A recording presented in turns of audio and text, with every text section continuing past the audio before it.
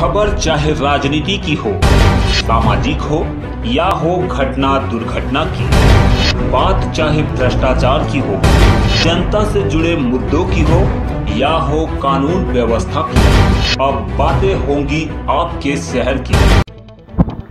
नमस्कार, मैं हूँ महक और आप देख रहे हैं मन्नत समाचार। जन अधिकार पार्टी के राष्ट्रीय अध्यक्ष पप्पू यादव जी के निर्देश पर किया गया 48 घंटे का भूख हड़ताल। स्टेट हेड मोहम्मद रहमतुल्ला सुपौल जिला में जन अधिकार पार्टी के प्रदेश अध्यक्ष राघवेंद्र सिंह कुशवाहा के आह्वान पर सुपौल जिला जाप इकाई के द्वारा पाँच सूत्रीय मांगों को लेकर 48 घंटे का भूख हड़ताल किया गया। भूख हड़ताल के अध्यक्ष सुपौल जिला अध्यक्ष नंद कुमार चौधरी के द्वारा किया गया कार्यक्रम का संचालन छात्र परिषद के राष्ट्रीय अध्यक्ष गौतम आनंद ने किया। भूख हड़ताल मुख्य रूप से पाँच सूत्रीय मांगों को लेकर आयोजित की गई, जिसमें केंद्र सरकार बेतहाशा महँगाई के खिलाफ बाढ़, प्रभावित लोगों एवं कोरोना मृतकों को उचित मुआवजा देने को मांग की। नीट परीक्षा में ओबीसी छात्रों को रिजर्वेशन बहाल करो की मांग की। सरकारी संस्थानों जैसे एलआईसी रेलवे जैसे संस्थानों के निजीकरण के खिलाफ एवं पार्टी अध्यक्ष राजेश रंजन उर्फ़ पप्पू यादव जी को अन्यायपूर्ण गिरफ्तारी एवं रिहाई को मांग को लेकर भूख हड़ताल आयोजन किया गया। भूख हड़ताल को संबोधित करते हुए त्रिवेणीगंज के पूर्व विधायिका श्रीमती अमला सरदार ने कहा कि आज की जुल्मी सरकार के द्वारा जो महँगाई लाई गई, गैस की महँगाई गरीब परिवार की महिलाएँ अच्छा खाना खाने लायक नहीं रही हैं। जब घर की गैस सिलेंडर ही महँगी हो गई तो घर में खाना कैसे बनाएँगी? एक तरफ़ सरकार दावा करती है, सबका साथ, सबका विकास की बात करने वाले आज सबका साथ तो लिया, लेकिन विकास सिर्फ़ अपने पूंजीपति मित्रों का कर रही है। भूख हड़ताल में शामिल हुए जिला अध्यक्ष नंद नंद कुमार चौधरी, दिलखुश ठाकुर, मिन्नतुल्ला खान मुकेश यादव संजय झा शिव कुमार यादव परवीर पाठक सुभाष यादव विवेक कुमार रेणु भारती आदि पार्टी के सभी कार्यकर्ता सम्मिलित रहे। जो आप जो भूख हड़ताल पर बैठे हैं क्यों बैठे हैं? वजह क्या है इसकी? हम लोग पाँच सूत्री मांग को लेकर बैठे हुए हैं।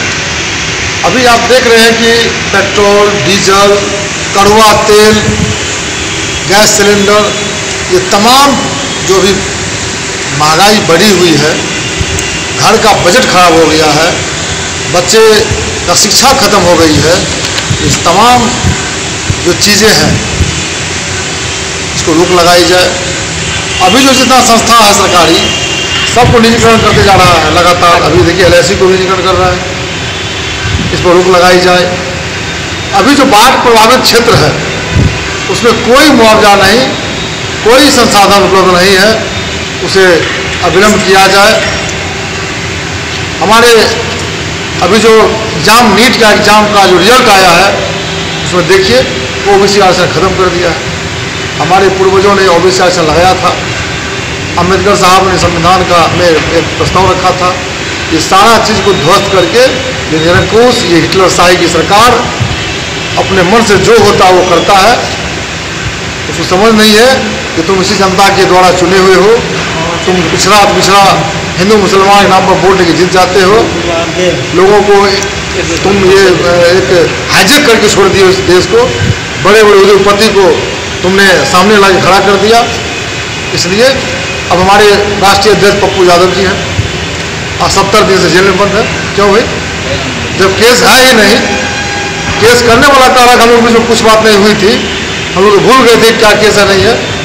ये नौ नौ दस दस घंटा कोरोना के नाम पर थाना में रख करके पूरे बिहार में सरकार ने केस को खुजवाया क्योंकि सरकार का एक एमपी एंबुलेंस को घर में छुपा के रखे हुआ था और गरीब का जो गरीब के यहाँ जो मृत्यु होती थी वो साइकिल पर होता था। उसे उजागर करने का काम किया क्या गरीबों को मदद करने का काम अपराध है तो पप्पू यादव अपराधी है। सर ये भूख हड़ताल पर आप लोग कितने दिन तक बैठे रहेंगे? क्या बोले? भूख हड़ताल जो आप किए हैं इस पर कितने दिन तक का आप लोग का बस आज है कल है और इक्कीस तारीख को ग्यारह दिन तक इक्कीस को हमारे अल्पसंख्यक जो अकलियत लोगों को उनका पर्व है हम लोग उस दिन तोड़ करके ईद मनाएँगे। एक समाज सौहार्द सौहार्द की वातावरण पैदा करेंगे। लेकिन हमारी मांग अगर पूरा नहीं होता है तो उसके बाद तय करेंगे और चरणबद्ध आंदोलन पूरे बिहार में होता रहेगा। नंद कुमार चौधरी जिला अध्यक्ष जनकार पार्टी सुपौल। आज आप लोग भूख हड़ताल पे बैठे हुए हैं। किस कारण को लेकर के आज आप लोग भूख हड़ताल पे बैठे हैं? आखिर क्या जो है सरकार से आप लोग का मांग देखिए सरकार की ये जो रवैया चल रही है केंद्र और स्टेट दोनों सरकार के विरुद्ध में हम लोग अड़तालीस घंटे के भूख हड़ताल पर बैठे हुए हैं।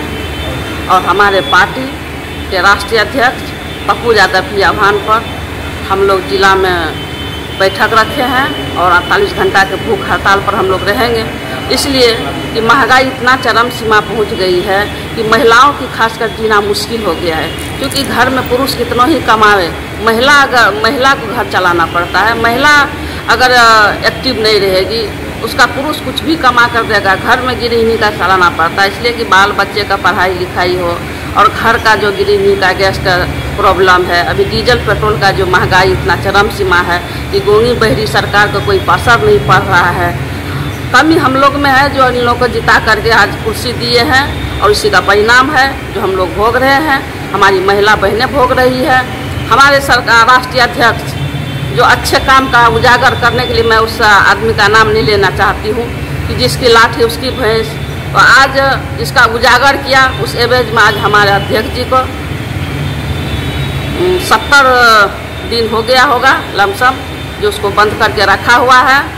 हम सरकार से मांग करेंगे कि हमारे राष्ट्रीय अध्यक्ष को रिहा करें। चूँकि तीसरा लहर आने वाला है, अभी यूपी पहुँच चुका है और बिहार में भी पहुँचने का संभावना है कि हम लोग के बीच आएँगे हमारे राष्ट्रीय अध्यक्ष। तो हमारे जो गरीब, जो मसीहा है, उनको दूर करने का वो काम करेंगे, दवाई से लेकर भोजन तक।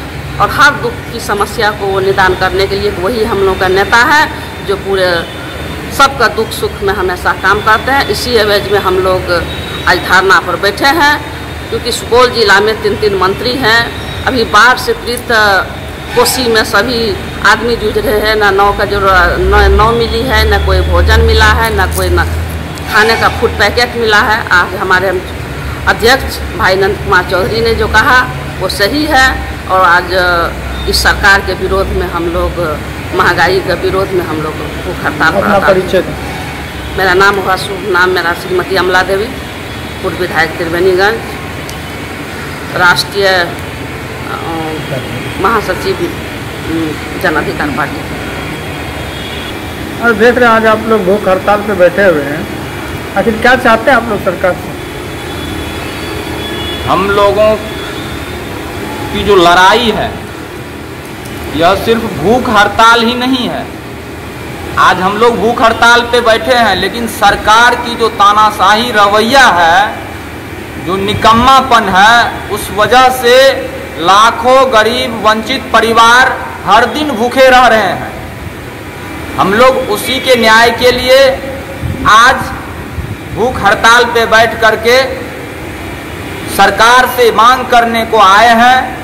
जिस तरीके से यह डबल इंजन की सरकार जो नारा दे करके आई थी, सबका साथ, सबका विकास, आज वो सबका साथ तो ले ली है, लेकिन विकास सिर्फ़ अपने पूंजीपति मित्रों का, जो करने का अभियान चला रखा है, उसके खिलाफ आज हम लोग धरना पे, भूख हड़ताल पे बैठे हैं।